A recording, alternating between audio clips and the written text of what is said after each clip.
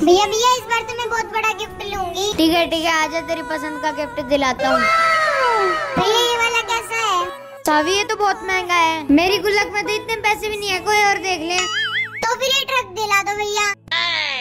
अरे बाप रे तो उससे भी महँगा है तेरे को बोला ना सस्ता वाल देख ले।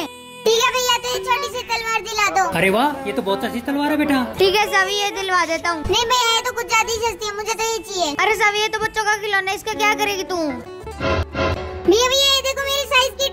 नहीं नहीं सावी मेरा बजट नहीं है इतना। ये तो उनसे भी महँगी है। ठीक है तो भैया ये वाला गोला दिला दो। इस पे बैठ के तो मैं ऐसे जंप करूँगी भैया ये देख सावी इसका रेट भी पाँच सौ रूपए और गोला चाहिए पहले ढंग से बोलना तो सीख ले गोला। तू ऐसा कर मेरे साथ घर चल मैं अपने आप ले लूँगा तेरे लिए गिफ्ट अच्छा ठीक है भैया ये बोल। सावी चल चुप चुपचाप। भैया एक बोल दिलवा दो कम से कम। सावी छोड़ इसे चल एक बारी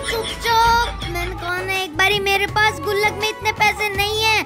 मैं खुद आके तेरा गिफ्ट ले लूँगा। अरे चल चल मेरी माँ। भैया ये कुर्सी दे देना फिर मुझे गिफ्ट में रुक जा तू ऐसे नहीं मानेगी तुझे उठा के ही ले जाता हूँ।